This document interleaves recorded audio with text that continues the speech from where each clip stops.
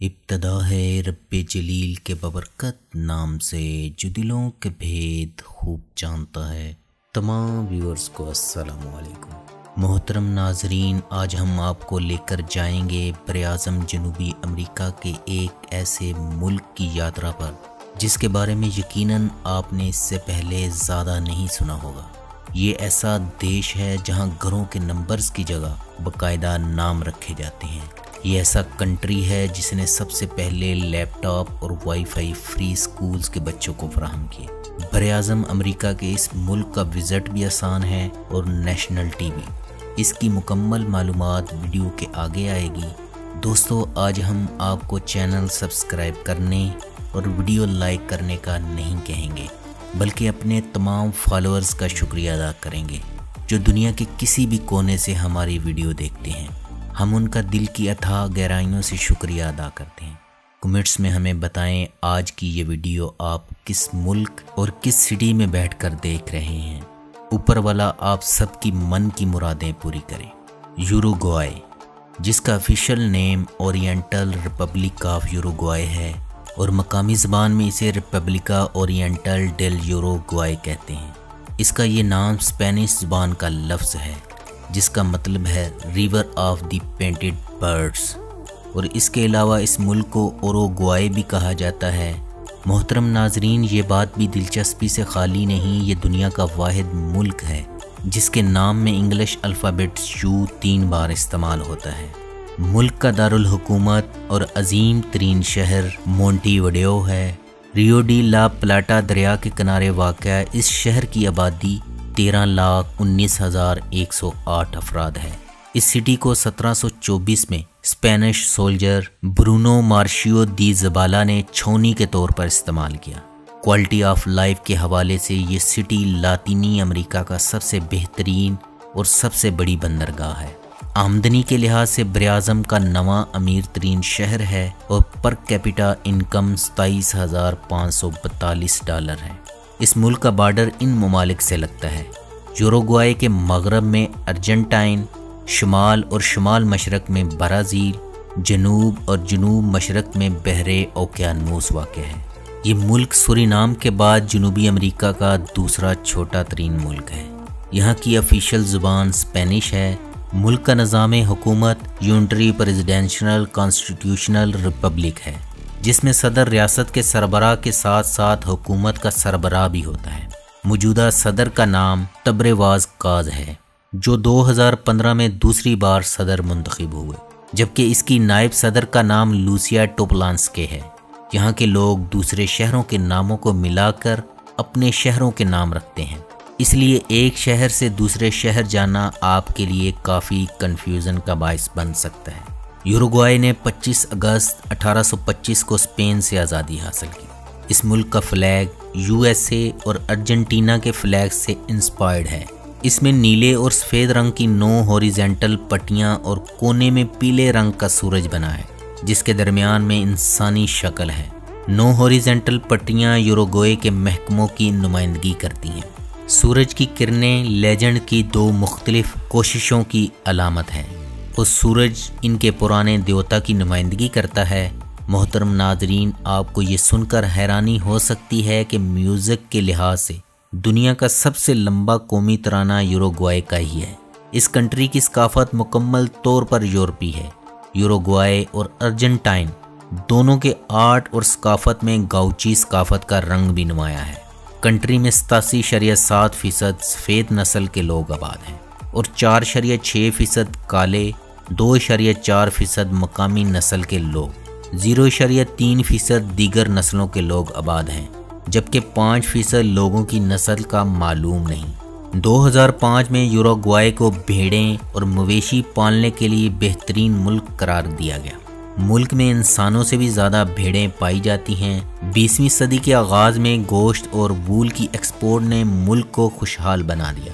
دو ہزار میں یوروگوائے نے ایک بلین ڈالر کا لائف سٹاک ایکسپورٹ کیا۔ یوروگوائے میں رہنے والے لوگوں کے مذاہب کی بات کریں تو اکتالیس فیصد رومن کیتھولک اور اکتالیس فیصد ہی لا مذہب ہیں۔ بارہ فیصد پروٹیسٹنٹ، جبکہ چھ فیصد دیگر مذاہب کے ماننے والے آباد ہیں۔ یوروگوائے ایسا امریکی ملک ہے جہاں مذہب کو سب سے کم فالو کیا جاتا ہے۔ اس لیے کرسمس جیسے مذہبی تہوار کو فیملی ڈے اور ہولی ویک کو ٹوریزم ویک کہا جاتا ہے۔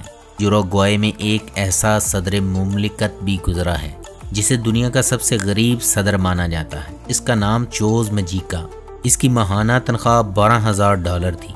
مگر وہ اپنی سیلری کا نوے فیصد غریبوں ضرورت مندوں اور چھوٹے کاروباری لوگوں میں بانٹ دیتا تھا۔ اس کے پاس صرف تین کمروں کا گھر اور تین ٹانگوں والا کتا تھا۔ یوروگوائے کا کل رقبہ ایک لاکھ پچہتر ہزار بیس اسکوائر کلومیٹر یعنی اڑسٹھ ہزار سینتیس مربع میل ہے، جو دنیا میں رقبے کے اعتبار سے بانوے نمبر پر شمار ہوتا ہے۔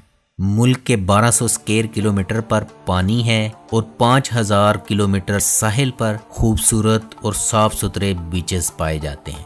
یہاں کی دلکشی ناقابل بیان ہے۔ پورے ملک کا تین چوتھائی حصہ چراغ گاہوں پر مشتمل ہے۔ اس کے علاوہ دس اشاریہ دو فیصد جنگلات بھی موجود ہیں۔ فٹ بال یوروگوائے کا پسندیدہ ترین کھیل ہے۔ انیس سو چوبیس اور انیس سو اٹھائیس football Olympic gold medal اسی ملک نے جیتے تھے۔ اور انیس سو تیس کے پہلے فیفا ورلڈ کپ کی میزبانی مونٹی وڈیو نے کی تھی۔ دیگر مشہور کھیلوں میں basketball, rugby union, tennis شامل ہیں۔ ملک کا ہائیسٹ پوائنٹ سیرو کیتھیڈرل ہے۔ جو سطح سمندر سے پانچ سو چودہ میٹر بلند ہے۔ یوروگوائے چلی کے بعد اس براعظم کا دوسرا سب سے کم کرپٹ ترین ملک ہے۔ ملک اٹلانٹک اوشن پر واقع ہونے کی وجہ سے آب و ہوا نمدار، فوگی اور معتدل ہوتی ہے۔ ملک میں پہاڑ نہ ہونے کے سبب تیز ہوائیں چلتی ہیں جو طوفانوں کا سبب بنتی ہیں۔ سردی اور خزاں میں سو ملی میٹر تک ہیوی رینز ہوتی ہیں۔ یہ ان چند ممالک میں سے ایک ہے جس کے سو فیصد عوام کو پینے کا صاف پانی میسر ہے۔ کیوبا کے بعد یہ دوسرا امریکی ملک ہے جہاں ابارشن کو قانونی تحفظ حاصل ہے۔ مگر حالیہ دنوں میں عدالت نے عورتوں پر بلا وجہ ابارشن کروانے پر پابندی لگا دی ہے۔ یوروگوائے کی کل آبادی چونتیس لاکھ ستر ہزار بارہ افراد ہے، جو دنیا میں ایک سو چھتیسویں نمبر پر ہے۔ ملک کا دارالحکومت جنوبی امریکہ لائے جانے والے افریقی غلاموں کا گڑھ تھا۔ یہی وجہ ہے آج بھی ملک میں کالے لوگوں کی اچھی خاصی تعداد پائی جاتی ہے۔ ملک میں بسنے والے لوگوں کی اوسط عمر ستر شریعہ چھ سال ہے۔ ملک کا جی ڈی پی انسٹھ شریعہ اٹھارہ بلین ڈالر ہے، جو دنیا میں چھیانوے نمبر پر ہے۔ اور G D P growth rate دو شریعہ سات فیصد ہے۔ فیکس آمدنی بائیس ہزار چار سو ڈالرز، جو پاکستانی اکتیس لاکھ آٹھ ہزار روپوں اور انڈین سولہ لاکھ چار ہزار روپوں۔ بنگلہ دیشی اٹھارہ لاکھ نواسی ہزار سات سو تریسٹھ بنگلہ دیشی ٹکوں کے برابر ہے یہ خطے کا ایسا ملک ہے جہاں سب سے کم غربت پائی جاتی ہے اور زر مبادلہ کے ذخائر سترہ شریعت دو بلین ڈالرز ہیں۔ اس ملک کے قدرتی وسائل میں ہائیڈرو پاور، مائنز، منرلز اور مچھلی شامل ہیں۔ زرعی مصنوعات میں گوشت اور شراب شامل ہے اور انڈسٹریل مصنوعات میں food processing machinery petroleum textile شامل ہے یہ ملک اٹھارہ شاریہ اکتالیس بلین ڈالر کی ایکسپورٹ کرتا ہے اور آٹھ شاریہ سات بلین ڈالر کی اشیاء امپورٹ کرتا ہے۔ اس کی کرنسی یورو گوائن پیسو ہے، جو چار شریعہ چھتیس پاکستانی روپوں اور دو شریعہ بیس انڈین روپوں اور دو شریعہ اٹھاون بنگلہ دیشی ٹکا کے برابر ہیں۔ محترم ناظرین انیس سو ننانوے میں پورے ملک میں منہ اور پاؤں کی بیماری پھیلنے کی وجہ سے کئی ممالک نے یوروگوائے سے گوشت خریدنے پر پابندی لگا دی تھی۔ یہ ملک اپنے جی ڈی پی کا آٹھ شریعہ آٹھ فیصد اپنے لوگوں کی صحت پر خرچ کرتا ہے۔ ملک میں ایک ہزار مریضوں کے لیے چار ڈاکٹر اور تین بیڈ دستیاب ہیں۔ یوروگوائے میں ہر شہری کے لیے تعلیم حاصل کرنا ضروری سمجھا جاتا ہے۔ اور یہ جی ڈی پی کا چار شریعہ چار فیصد بچوں کی تعلیم پر خرچ کرتا ہے۔ ملک کا لٹریسی ریٹ اٹھانوے شریعہ پانچ فیصد ہے۔ انیس سو اٹھانوے میں یوراگوائے نے نو سو تیس ٹن سوڈ فش پکڑ کر مچھلیاں پکڑنے کے انٹرنیشنل قوانین کی خلاف ورزی کی۔ محترم ناظرین یوراگوائے کی اگر تاریخ پر نظر دوڑائیں تو یورپی لوگوں کی آمد سے نو ہزار سال پہلے چوریا نامی مقامی باشندوں کا ایک چھوٹا سا قبیلہ۔ پیراگوائے کے گرانی قبائل سے تنگ آ کر پہلی بار اس سرزمین پر آباد ہوا۔ پرتگیزی پہلے یورپی باشندے تھے، جنہوں نے پندرہ سو بارہ میں اس سرزمین پر قدم رکھا۔ چار سال بعد اسپینش لوگوں کی بھی آمد ہوئی، مگر مقامی باشندوں کی سخت مزاحمت کی وجہ سے یہاں پہلی یورپی کالونی سولہویں اور سترویں صدی میں قائم ہوئی۔ اٹھارہ سو سات میں برطانیہ بھی ایک سال تک یورا گوائے پر قابض رہا۔ اسپینش لوگوں کے جانے کے بعد برازیل کے ساتھ متحدہ حکومت قائم ہوئی۔ بعد میں اس سے یہ الگ ہو گیا۔ اس ملک کے پچانوے شریع چھ فیصد لوگ شہروں میں آباد ہیں۔ یہ ملک ٹائم کے لحاظ سے پاکستان سے دس گھنٹے، انڈیا سے ساڑھے دس گھنٹے اور بنگلہ دیش سے گیارہ گھنٹے پیچھے ہے ڈرائیونگ رائٹ سائڈ ہے یعنی گاڑیاں دائیں طرف چلتی ہیں اور سٹیرنگ لیفٹ سائڈ پر ہوتا ہے۔ ملک کا کنٹری کوڈ پلس نو سو اٹھانوے ہے۔ Internet domain name dot Y U ہے۔ ملک میں سو میں سے چونتیس لوگ لینڈ لائن استعمال کرتے ہیں۔ موبائل فون یوزر کی تعداد پچاس لاکھ ستانوے ہزار پانچ سو ستر ہے۔ انٹرنیٹ یوزر کی تعداد بائیس لاکھ پچیس ہزار پچہتر ہے۔ یعنی سو میں سے چھیاسٹھ لوگ انٹرنیٹ کا استعمال جانتے ہیں۔ محترم ناظرین، ویزا کے متعلق بات کرنے سے پہلے بتاتا چلوں کہ یورا گوائے کو جنوبی امریکہ کا سب سے مضبوط ترین ملک مانا جاتا ہے۔ یہاں کی آبادی کم ہونے اور ڈیموکریٹک ملک ہونے کے باعث زندگی کافی پرسکون ہے۔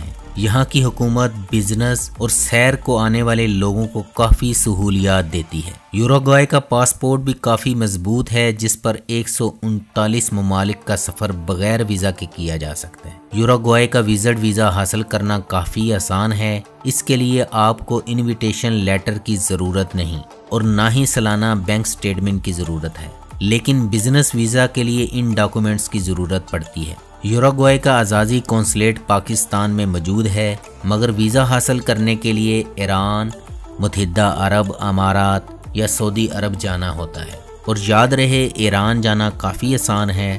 بھارتی اپنے ہی ملک میں موجود یوروگوائے کی ایمبیسی میں ویزا اپلائی کر سکتے ہیں۔ اس کے لیے آپ کے پاسپورٹ کی کم از کم مدت چھ ماہ ہونی چاہیے۔ وزٹ نوے دن کا ہوتا ہے۔ وہاں جا کے اس میں اضافہ بھی ممکن ہے۔ ویزا فیس بتالیس ڈالر ہے، جو ویزا ملنے کے بعد ادا کرنا ہوتی ہے۔ سٹڈی ویزا حاصل کرنا بھی ممکن ہے، اس کے لیے آپ کی سٹڈی میں لمبا گیپ نہیں ہونا چاہیے۔ اس ملک کی نیشنلٹی حاصل کرنا کافی آسان ہے۔ اس کے لیے آپ کو پانچ سال تک ملک میں رہنا ضروری ہے۔ کاروبار کرنے والوں کو آسانی سے نیشنلٹی مل جاتی ہے۔ یہ ملک پاناما کی طرح کاروباری لوگوں پر بہت مہربان ہے۔ اس کے علاوہ سٹڈی ویزے پر بھی نیشنلٹی حاصل کرنا ممکن ہے۔ ڈویل نیشنلٹی بھی قابل قبول ہے۔ ملک میں ایک سو تینتیس ایئرپورٹ ہیں اور اس حوالے سے ملک کا شمار ترتالیسویں نمبر پر ہوتا ہے۔ ایک ہزار چھ سو ترہتر کلو میٹر لمبی ریلوے لائن ہے اور ملک میں ستر ہزار سات سو بتیس کلو میٹر لمبی سڑکیں ہیں جو دنیا میں اڑتالیسویں نمبر پر ہیں۔ اور سولہ سو کلومیٹر لمبا دنیا کا پچاسواں بڑا واٹر ویز سسٹم بھی اسی ملک میں موجود ہے۔ ہوٹلنگ کے متعلق چند معلومات، یوروگوائے کے بڑے شہروں میں بہترین ہوٹلز صرف ستر ڈالر میں بک کیے جا سکتے ہیں، مگر ہوٹل سے زیادہ ساحلوں پر واقع گھروں کی زیادہ مانگ ہے۔ کیونکہ یہ زیادہ شاندار، پرفضا اور سستے ہوتے ہیں۔ جنوری کے پہلے دو ہفتوں میں رش کے باعث رہائش ملنا ممکن نہیں ہوتا۔ جنوری کے خوبصورت، دلکش اور معتدل موسم میں سیاہ مہینوں پہلے تمام ساحلی ہوٹل اور کوٹیج کی بکنگ کروا لیتے ہیں۔ دوستو، یہ تھی آج کی ویڈیو۔ ملیں گے پھر کسی نئے کنٹری کی یاترا کے ساتھ۔ اللہ ہم سب کا حامی و ناصر ہو۔